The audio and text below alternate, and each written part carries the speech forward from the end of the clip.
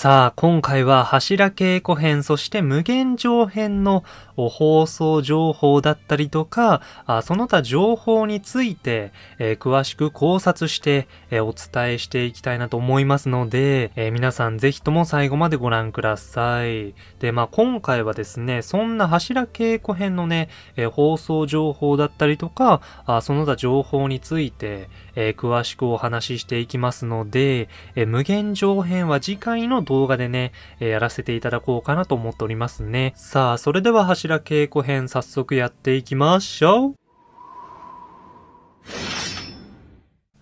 はい、ということで、まず放送日なんですが、2023年の12月、年内放送だと私は思っております。え理由としましては、原作が全9話分とかなり短い編となっていますので、まあ、全然内容としては今年の放送が可能なんじゃないかなと思っておりますね。えー、ちなみに刀鍛冶の里編はですね、えー、原作全30話分ということで、まあ、そう考えると柱稽古編はかなり短いんですよね。えー、なので、まあ、2023年の12月に、え放送できるんじゃないかなと思っておりますね。さあ、そしてそんな具体的な放送内容なんですが、フジテレビの土曜プレミアムの枠で2時間で特別放送するんじゃないかなと思っておりますね。なぜなら、早々のフリーレンというアニメが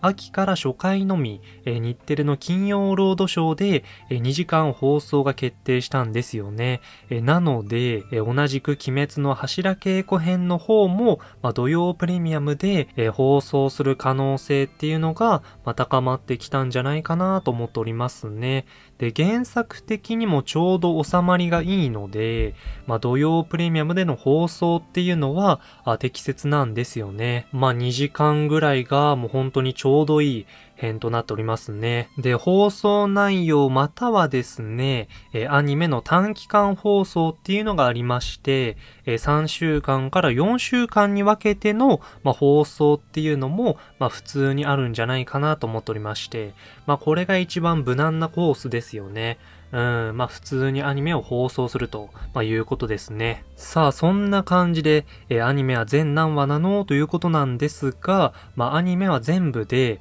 えー、3話から4話分となっておりまして、えー、原作が全9話から12話分となっているんですよね。まあなので本当に長くない編なんですよね。で、まあ刀鍛冶の続きはですね、128話からということで、136話か、139話までね、えー、進むんじゃないかなと思っておりますね。えー、すると大体アニメは最大でも4話分となるということで、まあそうですね、かなり短いですよね。で、まあ公式さん的にも、まあ次の無限上編っていうのを大きく見せた形でね、え終わりにしたいんじゃないかなと思いますので、え原作の139話までね、え進むんじゃないかなと思っておりますね。まあ、ここのみんながね、え無限上編に入っていくところまで、まあ、進むんじゃないかなって感じですね。まあ、ここで終わったら、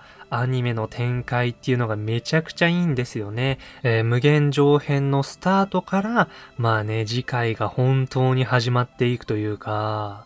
本当に原作の140話から、まあ、無限上編って始まっていくので、まあ、柱稽古編はそんな感じの引きにして、えー、終わるんじゃないかなと思うんですよね。で、続いて主題歌情報なんですが、あもちろん柱稽古編というショーなので、えー、オープニングとエンディングはしっかりあると思います。で、そこで主題歌を務める歌手なんですが、あこれまでソニーミュージックのね、えー所属の歌手が務められていたことから、リサさん、エメさん、ミレイさんに加えて、新人歌手のフロー、コシュニア、あ青いエイルさんなんかがね、えあるんじゃないかなと思っておりますね。え一応その辺の歌手がですね、えまだ来ていないアニソン歌手ということで、いやーかなりありそうなんですよね。で、個人的にはフローなんかがね、えあるんじゃないかなと思っておりますね。まあ他にも予想するとしたらまだまだありますよということで、まあそんな感じとなりそうです。さあ、ということでまとめなんですが、あそんな感じで、えー、鬼滅の刃柱稽古編は、アニメ全3話から4話分とかなり短いショーで、えー、年内2023年の12月の放送なども、あ全然ゼロではない、えー、内容となっております。え公式さんも、お次の無限上編を早くアニメ化したいとね、え考えていると思うので、まあ、そこまで先延ばしにはしないと思うんですよね。